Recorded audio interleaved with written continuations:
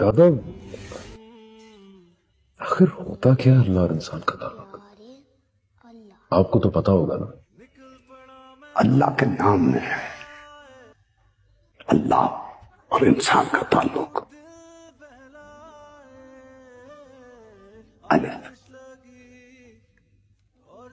अलफ ये एक सीधी लकीर जैसा ताल्लुक है जिसके एक सिरे पर अल्लाह है दूसरे सिरे पर बंदा है